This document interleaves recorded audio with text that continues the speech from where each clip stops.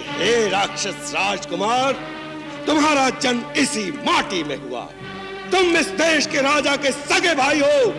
फिर भी तुमने ना तो अपने कुटुंब के प्रति अपनापन, ना अपने आत्मजनों से स्नेह और ना ही अपनी जाति का अभिमान ही रह गया है। दुर्बुद्धे स्वजनों का परित्याग करके दूसरों की दास्ता स्वीकार की है तुमने। अपने कुल की मर्यादा देश की मर्यादा का हनन करने वाले द्रोही पर